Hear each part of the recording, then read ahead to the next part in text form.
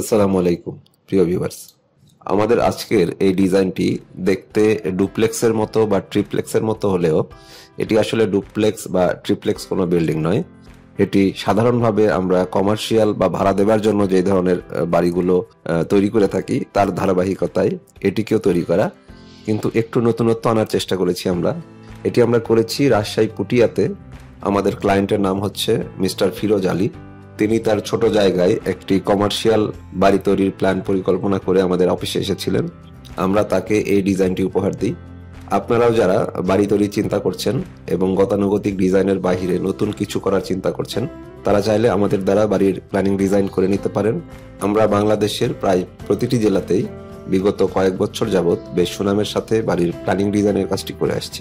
তো চলুন এখন দেখি ফিরোজ সাহেবের এই বাড়িটি আমরা কীভাবে সাজিয়েছিলাম, কয়টি রুম ছিল, এর বিস্তারিত।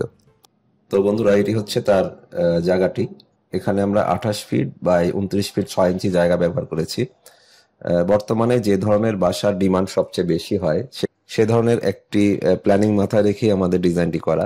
এখন যেহেতু ছোট ফ্যামিলির বাসার চাহিদা বেশি, এই কারণে আমরা দুইটি বেডরুম, আলাদা ড্রয়িং কাম, ডাইনিং, দুইটি টয়লেট এবং কিচেনের মাধ্যমে আমরা প্রত্যেকটি ডিজাইন সাজানোর চেষ্টা করেছি। তো প্রথমে আমরা নিস্তলা প্ল্যানটি দেখিয়ে দিই। এটি হচ্ছে সেই কোর্স যার ভিতর দিয়ে এন্ট্রিটা করতে হবে। এটি মেন গেট এই মেন গেট দিয়ে প্রবেশ করে এই সিঁড়ি এই সিঁড়ি দিয়ে দুতলা, তিনতলা, চারতলা পর্যন্ত যেতে পারবেন। এরপর ভিতর দিয়ে আরও একটি মেন গেট রয়েছে, যেটি ফ্ল্যাটে প্রবেশ করার জন্য এই দরজাটি ব্যবহার করা হবে।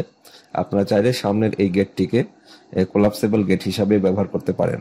তো প্রথমেই আমাদের মেন গেট দিয়ে প্রবেশ করে এটি হচ্ছে ডাইনিং স্পেস এরপর পেছনে এটি হচ্ছে ড্রয়িং রুম এই পাশে একটি মাস্টার বেড রয়েছে, যার মাপ হচ্ছে এগারো ফিট চার ইঞ্চি বাই তেরো ফিট ছয় ইঞ্চি। এর সাথে একটি অ্যাটাচ টয়লেট রয়েছে, পেছনে আরও একটি বেডরুম রয়েছে, যার মাপ হচ্ছে দশ ফিট নয় ইঞ্চি বাই বারো ফিট ছয় ইঞ্চি এবং পেছনে একটি বারান্দা। প্রত্যেকটি রুমের সাথে এবং ড্রয়িং রুমের সাথে এখানে বারান্দা রাখা হয়েছে, আপনারা দেখতে পাচ্ছেন।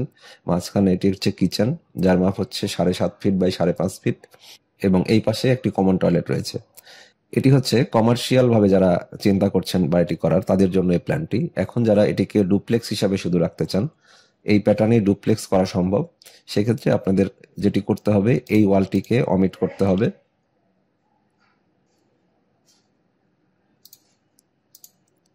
এই সিঁড়িটিকে হ্যাঙ্গিং অবস্থায় এভাবে রাখতে হবে।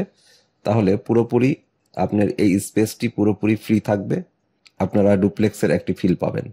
তো এভাবে আপনারা চাইলে ডুপ্লেক্স হিসাবে ব্যবহার করতে পারেন, আবার চাইলে আপনারা এটিকে কমার্শিয়াল ভাড়া দেওয়ার জন্য ব্যবহার করতে পারেন। দ্বিতীয় তলাতে গিয়ে আপনারা যে ট্যারেসটি দেখেছিলেন, এটি হচ্ছে সেই ট্যারেসটি এটি ওপেন একটি স্পেসে রয়েছে। সিঁড়িঘর দিয়ে এটিতে প্রবেশ করতে হবে।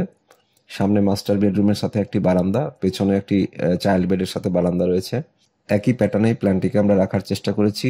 তো যারা ছোট, এক হাজার থেকে এগারোশো স্কোয়ার ফিটের মধ্যে এই ধরনের একটি বাড়ি তৈরির পরিকল্পনা করছেন, তাদের জন্য আমি মনে করি এটি একটি বেস্ট প্ল্যান তো এখন আসি খরচের হিসাবে। আপনারা যারা এই ধরনের একটি বাড়ি দুই হাজার বাইশ সালের তৈরি করার পরিকল্পনা করবেন, তাদের উদ্দেশ্যে বলছি, তাদের তিনতলা বা চারতলার ফাউন্ডেশনে এই বাড়িটি নিচতলা কমপ্লিট করতে আপনাদের বিশ থেকে বাইশ লক্ষ টাকা খরচ হবে। দ্বিতীয় তলা থেকে খরচ কিছুটা কমবে, এটি আপনারা ষোলো থেকে সতেরো লক্ষ টাকার মধ্যে দ্বিতীয় থেকে চতুর্থ পঞ্চম তলা পর্যন্ত কমপ্লিট করতে পারবেন। আমাদের ডিজাইনগুলো কেমন লাগে আমাদেরকে কমেন্টসে জানাবেন। তো সবাই ভালো থাকবেন, সুস্থ থাকবেন। আল্লাহ হাফিজ।